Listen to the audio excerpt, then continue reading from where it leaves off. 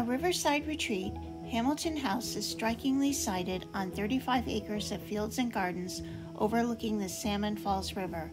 Located an easy drive from Portsmouth, New Hampshire, this circa 1785 mansion and its landscape share a history that mirrors that of its southern Maine region.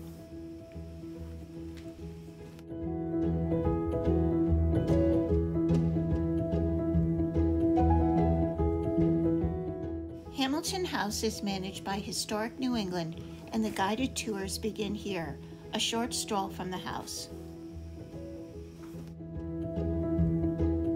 In the early 20th century, the owners of the Hamilton House, the Tysons, built a garden cottage at the location of the current visitor center. It was used as a place to entertain friends and enjoy the garden and river breezes.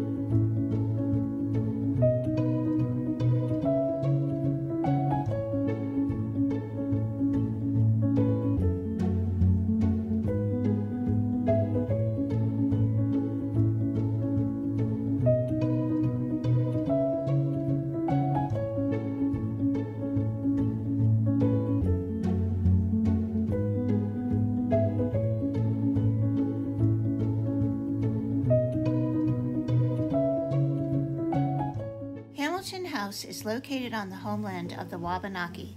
After more than a century of conflict, European colonists took ownership of the area known as South Berwick, Maine. The site was purchased by Jonathan Hamilton for his shipping business in the 18th century. A merchant, trading heavily in the West Indies, Hamilton profited from the labor of enslaved people. Tax records from 1784 show that there was one person of color living at the site, potentially a free person who was formerly enslaved. Shortly after Jonathan Hamilton's death in 1802, the West Indies trade in this region collapsed. Hamilton House passed out of family hands in 1815. In 1839, Alpheus and Betsy Goodwin bought the Hamilton House and surrounding land for use as a farm. With 11 children and one of the largest flocks of sheep in the area, the Goodwins were prosperous farmers for nearly 60 years. By 1898, Hamilton House had fallen into some disrepair and was known locally as the Ruins. Many of the adult Goodwin children had left the farm by this time. The remaining family members had decided to put the site up for sale. Also in 1898, Maine author and South Berwick resident Sarah Orne Jewett went on a mission to find buyers for Hamilton House. She found buyers in Boston residents Emily Tyson and her stepdaughter Elise Tyson, who purchased the home for a country retreat.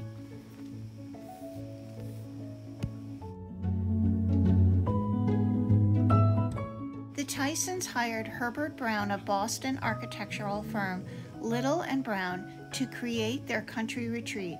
The Tysons' design aesthetic for the site, notes Historic New England, was one of indoors flowing seamlessly into outdoors.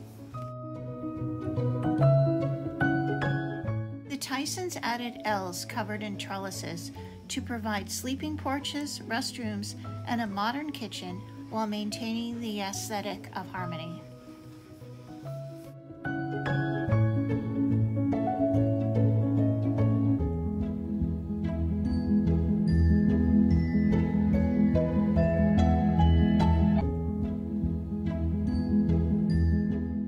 Tysons were avid gardeners, and with the help of Herbert Browne, they created a lush sunken garden overlooking the river. The garden was featured in a 1929 issue of House Beautiful. The elaborate perennial garden of Emily and Elise Tyson included a Carrara marble fountain they purchased in 1905, a sundial, and statuary, must have elements of the fashionable garden of the day.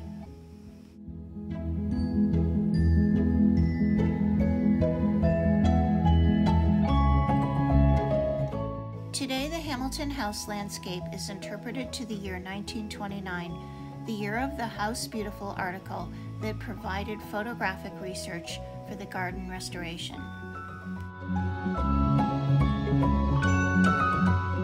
The wallpaper in the front hall is a reproduction of original pillar and arch wallpaper commissioned by the Tysons.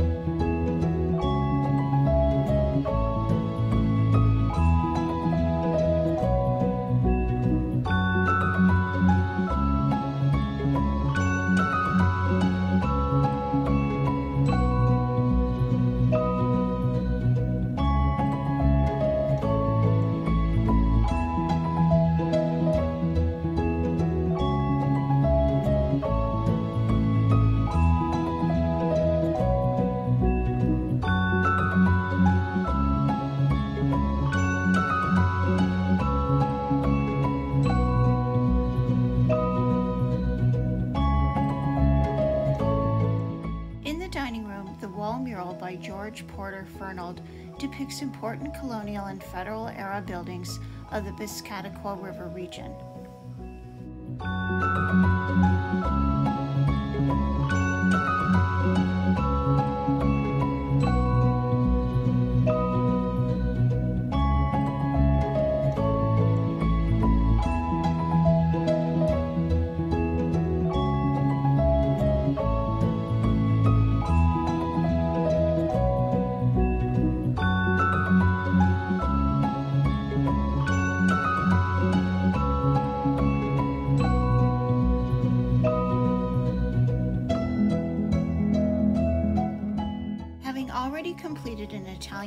Inspired mural in the Hamilton House dining room, George Porter Fernald was called back in 1907 to complete a mural in the drawing room in imitation of the French scenic wallpaper Le Monument de Paris.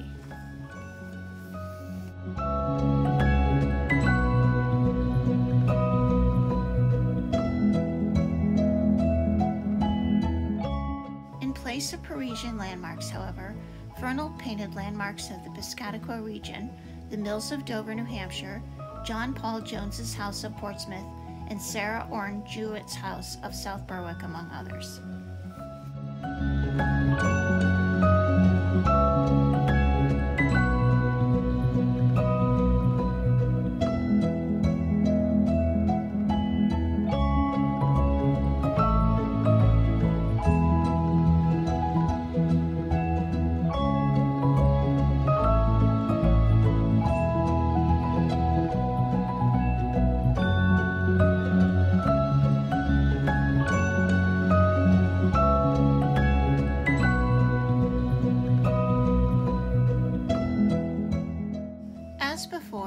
Historic New England, Fernald painted over existing wallpaper in the room, but this time left sections of the wallpaper unpainted, cleverly incorporating the leafy design of the paper into the mural as foliage in the trees.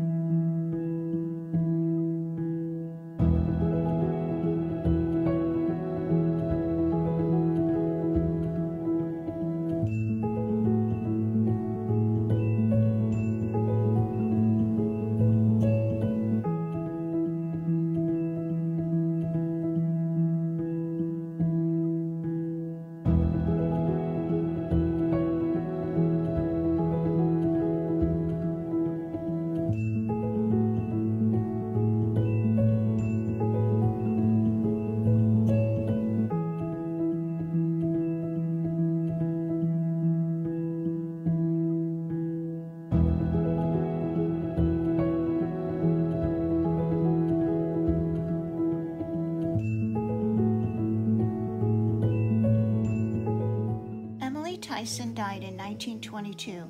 Stepdaughter Elise Tyson had by this time married Henry C. Vaughan, and the Vaughans kept and maintained the estate. When Elise Vaughan passed away in 1949, she left the house and its contents to historic New England. In addition, she left the state of Maine nearly 200 acres for use as a state park.